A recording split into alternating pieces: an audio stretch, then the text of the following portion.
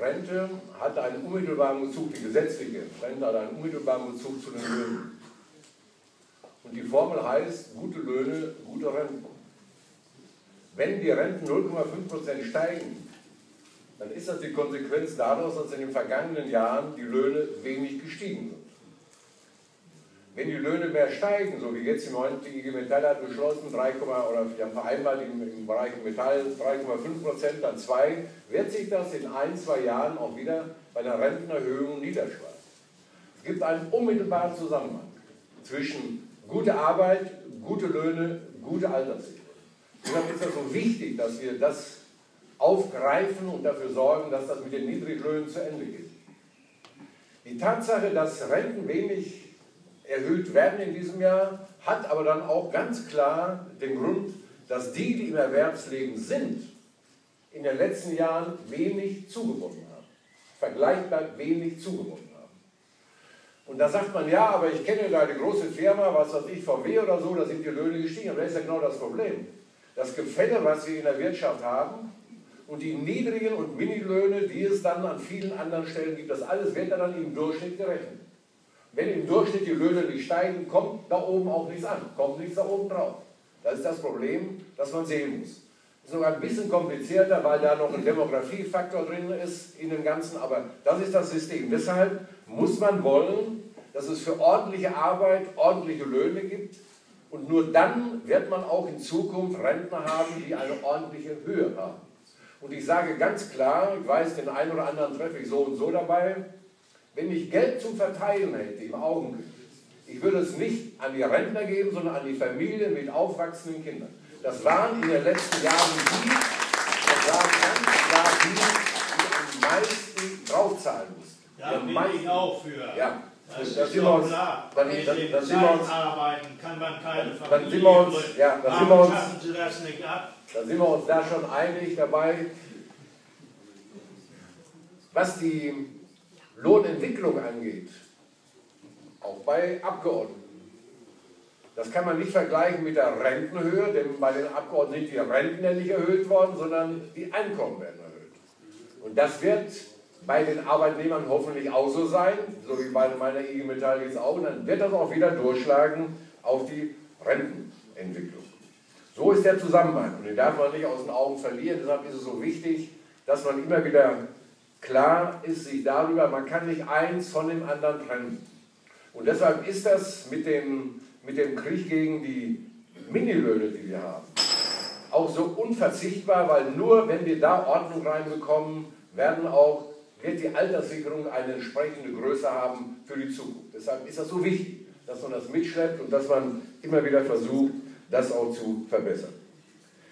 Christa, wenn ich das sagen, so ansprechen darf, hat darüber gesprochen, dass sie als Mentorin arbeitet. Ja, das ist einer der Punkte, einer der, einer der Stellen, wo man anfassen kann, wo man helfen kann. Und natürlich, ich will das jetzt überhaupt nicht schönreden, aber es ist ganz sicher so, dass diejenigen, die Verantwortung haben und finden, auch wenn sie noch im Beruf sind oder auch nicht mehr, und in der Gesellschaft das eine oder andere tun können, dass sie dabei auch selbst ein Stück Befriedigung haben, überhaupt keine Frage. Man kann das sogar an der Gesundheitsentwicklung messen bei ganz vielen Menschen.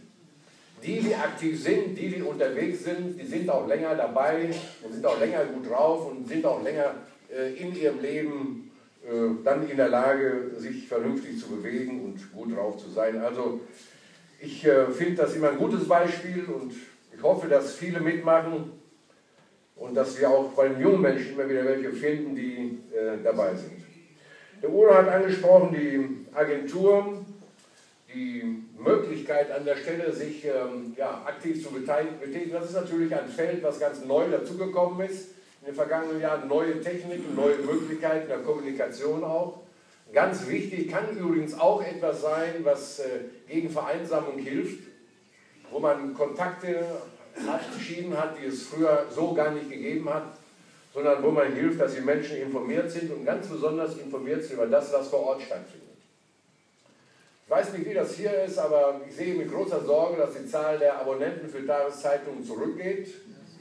und dass wir ja, eine Kommunikation, wie wir die sonst immer hatten in den kleinen Städten und Gemeinden, nicht mehr überall so hinkriegen. Man weiß nicht mehr so ganz genau Bescheid. Als wir jung waren, haben wir immer erstmal hingeguckt, wer hat sich verlobt, wer ist sozusagen ausgeschieden. Im weiteren Verfahren ähm, aber natürlich auch, wer ist gestorben und wer ist Feuerwehrhauptmann geworden und äh, wir haben die Fußball gespielt und so. Das war ja weniger die Seite 2, die wir da gelesen haben, mit den super klugen Kommentaren da. Das wussten wir sowieso schon alles besser, aber dieser Teil Geschichte der eigenen Heimat, der ist schon ganz wichtig und wenn man das auf anderen Wegen transportieren kann, wo man sich informiert, wo man Kontakt herstellt, kann ich nur dazu ermutigen. Die Sache mit den Ärzten, die aber noch angesprochen war, ja, auch die Ärzte lernen zu. Inzwischen ist es aber so, dass wir Medizinstudium wie auch ein oder zwei Semester machen für diesen ganzen Bereich Demenz, aber auch für SAPV, also spezialisierte ambulante Palliativversorgung. Und äh, ja, da gibt es Schwierigkeiten. Wir haben das Gesetz gemacht und äh, das läuft auch, aber das ist etwas, das wird gegeben sozusagen auf, auf, auf Krankenschein. Das ist wie ein Medikament, das wird verschrieben. Und äh, die Betreuung mit der spezialisierten äh, ambulanten Palliativmedizin, äh, die wird vom medizinischen Dienst bewertet, so wie wenn man eine Pflegestufe bekommt. Und die medizinischen Dienste gehen da offensichtlich sehr unterschiedlich mit um. Ich habe jetzt die Tage an einer Stelle in Deutschland erlebt, da haben die mir gesagt, ja, die machen das nur bei Krebskranken, nicht bei Menschen mit anderen Krankheiten. Aber es gibt natürlich auch viele andere Krankheiten, die ganz schwer sind. Das heißt, wir in der Politik haben das begriffen und wir wollen, dass diese Angebote der palliativen Hospizdienste flächendeckend werden, dass die Krankenkassen das auch bezahlen müssen. Wenn vor Ort keiner da ist, der das anschiebt, die Krankenkassen von sich aus machen das nicht, das kostet ja Geld. Deshalb muss man vor Ort anfangen, in der Gemeinde, gucken, ob man das hinkriegen kann. Wenn nicht, dann muss man versuchen, auf einer anderen Ebene das ganze Ding anzuschieben und zu helfen, dass diese Dinge äh, dann auch vor Ort möglich sind. Ist noch mal was gesagt worden, äh, mit, ähm, was sehr wichtig war, was ich auch noch mal ausdrücklich aufnehmen will. Ähm, bessere Löhne, mehr Chancen geben den jungen Menschen und ähm, helfen, dass die Technik äh, dazu hilft, den Lebensstandard zu verbessern und nicht zu schwächen. Das ist eine ewige Ambivalenz gibt ja schöne Theaterstücke über die Weber, die die Webstühle kaputt schlugen, das kennen wir ja alle. Aber sagen wir ganz einfach gesagt, wenn wir die Technik nicht hätten, wären wir ein ganzes Stück ärmer und würden auch nicht ganz so lange leben. Also wenn man die Technik weiterentwickeln kann, bin ich sehr dafür. Dann bin ich dafür, dass wir irgendwann vielleicht sagen, wir müssen nicht mehr 38 Stunden arbeiten, sondern vielleicht 35 oder weniger. Da ist die Lösung. Wenn man da nötige Geld für bekommt, von dem man leben kann, ist das in Ordnung. Als ich 1954 meine, aus der Schule kam und meine Lehre begann als Industriekaufmann, arbeiteten wir jeden Samstag bis um zwei. Also fünf Tage und der Samstag. Das war 48 Stunden Woche. Und dann fingen die Gewerkschaften an und haben gesagt 40 Stunden Woche. Da hat meine Chefin, ich hatte eine Chefin, die hat mir dann ein Buch äh, gegeben, das sollte ich mal lesen. Darin war wissenschaftlich bewiesen, dass wenn weniger als 44 Stunden im Durchschnitt gearbeitet wird, die Gesellschaft in ein paar Jahren pleite ist. Ganz alles beweisen. Das haben die damals uns bewiesen. Also unter 44 Stunden wurde lebensgefährlich. Die kriegten übrigens für die 48 Stunden 50 Mark damals, aber war okay. Musste zu Hause abgeben, kriegst du 5 Mark Taschengeld dann. Aber gut, ich will mich überhaupt nicht beklagen, weil äh, ich will nur sagen, wir haben erlebt, wie die Technik sich entwickelt hat mit einer Rasanz sondergleichen in einer Rasanz sondergleichen.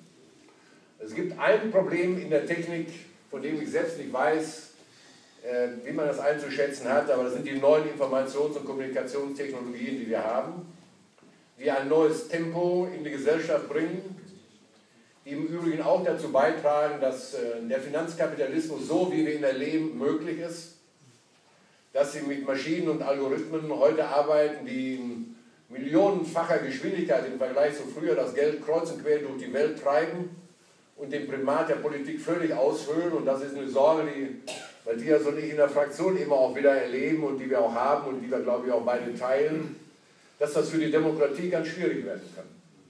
Wenn wir nicht lernen, mit den neuen Techniken vernünftig umzugehen. Ich spreche ausdrücklich nicht dagegen. Ich bin dafür, dass man sie nutzt. Das ist wie die neue Buchdruckerkunst. Aber Demokratie braucht ein menschenadäquates Tempo.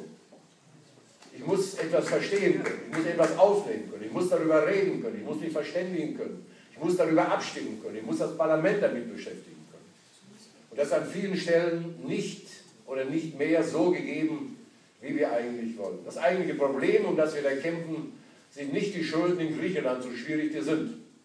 Aber Bremen in der Bundesrepublik Deutschland, ein Land, kann auch nicht alleine leben.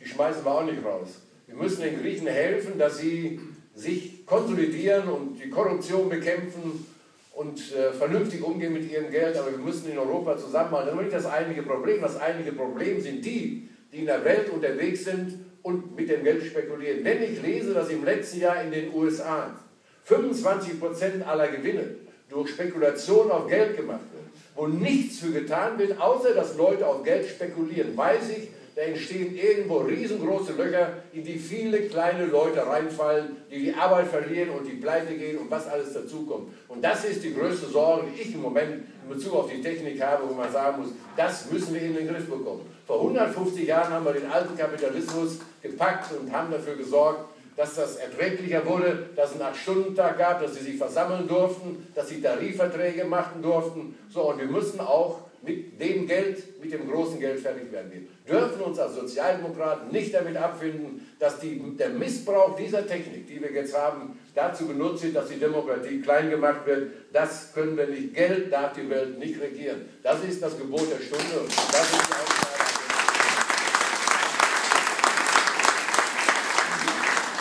Das letzte, ja, wie gehen wir um mit den Chancen der jungen Menschen? Wir haben natürlich schon oft gesprochen über die Frage vom Praktiker. Wenn man aus beruflichen Gründen ein Praktikum machen muss, dann muss das sein. Ich will noch mal sagen, da gibt es auch sehr unterschiedliche Vorstellungen, was das ist. Und manchmal wird dieser Begriff Praktikum, der eigentlich ein bisschen positiv belegt war, auch missbraucht für Beschäftigung ohne Geld. Das ist kein Praktikum, das ist Missbrauch von Arbeit, überhaupt nichts anderes. Wenn mir eine junge Frau erzählt, ja, sie hat ein Angebot bekommen, bei einem Aussteller da auf einer Messe mitzuhelfen, acht Tage da den Messestand aufzubauen und zu betreuen, was kriegst du? Nichts. Sie macht ein Praktikum, das ist kein Praktikum. Das ist ganz einfach Missbrauch, strafbar. Das kann, das kann überhaupt so nicht sein, aber so. Da müssen wir jedenfalls die Gesetze auch nochmal verschärfen, die Kontrollen vor allen Dingen auch verschärfen und dafür sorgen, dass man da nicht dran vorbeiarbeiten kann. Ansonsten stimme ich dem zu, was Sie gesagt haben, zum Schluss. Nämlich, dass die Situation, die wir jetzt haben am Arbeitsmarkt, auch ein positives Element hat an der Stelle. Zwei Sachen werden passieren. Die jungen Leute werden leichter einen Ausbildungsplatz und einen Job bekommen und die Arbeitgeber werden mehr bezahlen müssen. Ich sage Ihnen voraus, dass über eine Erhöhung der Löhne in den nächsten Jahren es auch eine Stabilisierung hin in die Alterssicherung gibt. Ich bin auch in Ostdeutschland unterwegs. Und längst sehen die Unternehmen, wenn sie den Menschen nicht mehr bezahlen, dann hauen die alle ab. Dann gehen die nach Baden-Württemberg, aber die brauchen die, die brauchen die. Also sagen, gut, da müssen wir wohl Schritt für Schritt. Und das ist ein bisschen Veränderung am Arbeitsmarkt, die sich durchaus positiv auswirken kann auf die Chance, Arbeitsplätze zu finden und auf die Löhne, die gezahlt werden können. Es wird an vielen Stellen wieder die Chance geben, wo die Arbeitgeber dem Arbeit, die Arbeitnehmer dem Arbeitgeber auch mal sagen können, pass mal auf, da ist eine andere Firma, die gibt mir mehr. Entweder du mir auch oder ich bin an einer anderen Stelle. Das hat es ja früher auch schon mal gegeben und das ist ganz gut, wenn da mal ein bisschen Konkurrenz an der Stelle wieder äh, erscheint. Also äh, diese demografische Entwicklung, die hat auch solche Momente, die man auch nutzen muss, wo man einfach sagen muss, so, sind wir hier. Aber das dauert noch. Na, lass uns mal in fünf bis zehn Jahren weitersprechen. Das geht weiter auf 2020 hin. Auf, auf, auf 2020 hin. Du lachst so in, in, in 2020, ich bin dann 80, also laden wir nochmal ein, dann kommen wir wieder.